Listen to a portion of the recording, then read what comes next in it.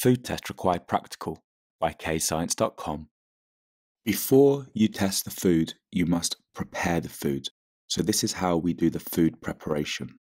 So, you get a pestle and mortar, and then you're going to put the food sample into the mortar. You use the pestle to crush the food to as small pieces as you can. You then place the now crushed food sample into a beaker. And now you add distilled water. You add distilled water to the ground up food sample. And now you use a glass rod to stir the food sample in the distilled water. The food molecules should now be dissolved in the distilled water. You're now going to filter out the undissolved larger pieces of food from the solution. So now you filter the solid bits of food out of the solution. You now have your food sample ready. You do this for each food group. We're now going to test the food for starch. You get 5 centimeters cubed of your sample, and the test for starch is iodine. So you're going to add iodine to your sample. So if there is no starch present in the sample, when you add your iodine to the sample, your sample will remain orange. The iodine will remain orange. However, if there is starch present, when you add the iodine to your sample, the iodine is going to turn a blue black color. So, iodine in the presence of starch turns blue black. So, when there is no starch present in the sample, iodine remains orange. However, iodine turns from orange to blue black when starch is present. It's question time. Attempt these questions to check your understanding.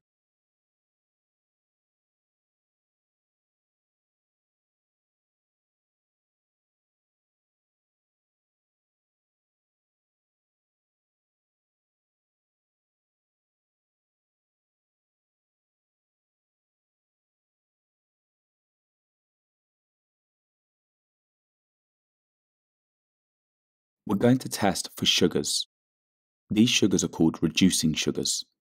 So you get 5 centimeters cubed of your food sample, you heat water in a water bath, and you place your food sample in a test tube rack into the water in the water bath. The water bath is set to 75 degrees. It is very hot. Watch out, do not touch it, it can cause you to get burns. Test for reducing sugars is Benedict's solution. Benedict's solution is blue, so when you add Benedict's to your food sample, it's going to firstly appear blue. You place the sample with the Benedict's back into the water bath for five minutes. And if there is no color change after five minutes, so if the Benedict's solution remains blue, that means there are no reducing sugars in the solution. However, if there is a color change in the Benedict solution of blue to green, that means there is low or trace amounts of reducing sugars in your food sample. So that means there is some but very, very little sugar in your food sample. And if the color change of the Benedict solution after five minutes is blue to an orangey yellow color, so an orangey color, that means there is going to be a higher concentration of reducing sugars in your food sample so there's going to be a higher concentration of reducing sugars in your food sample if the color changes blue to an orangey yellow. The color change that shows the highest concentration of reducing sugars in a food sample would be if the Benedict solution turns from blue to a dark red color. This shows the highest concentration of reducing sugars. So remember, Benedict's is blue, and if it remains blue, there are no reducing sugars. If it turns green, there are trace amounts of reducing sugars. If it turns orangey or yellow, there is a higher concentration of reducing sugars. And if the Benedict's turns from blue to brick red, that means that is the highest concentration of reducing sugars that Benedict's solution can detect for. It's question time. Attempt these questions to check your understanding.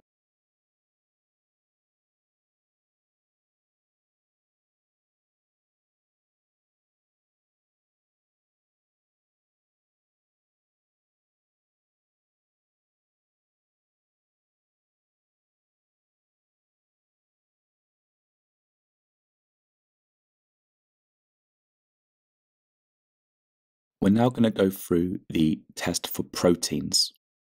The test for protein is using Biuret's.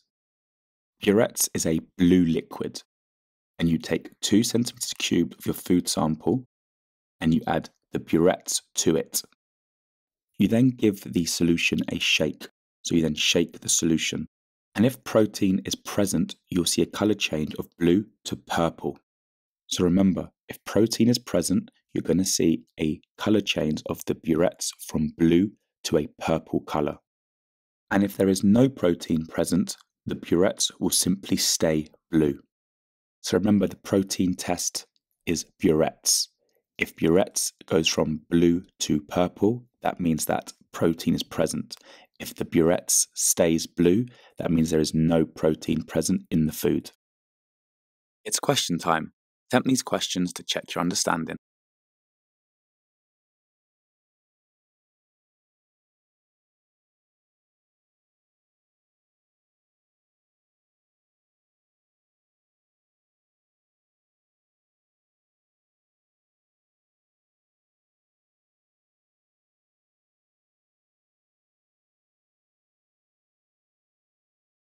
We're now going to go through the test for lipids. So you take 5 centimeters cubed of your food sample and you add a reagent called Sudan 3.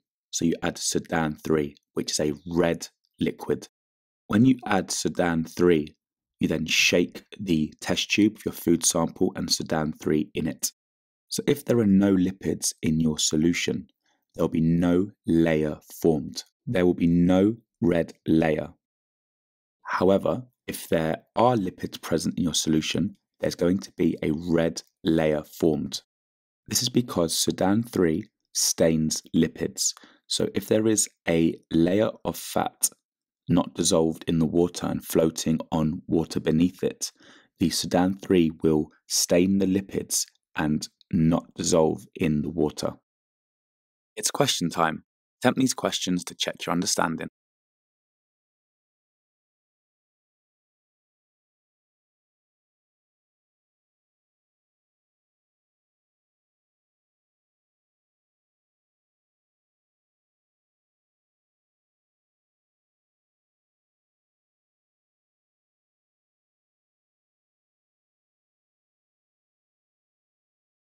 Press pause to answer the questions.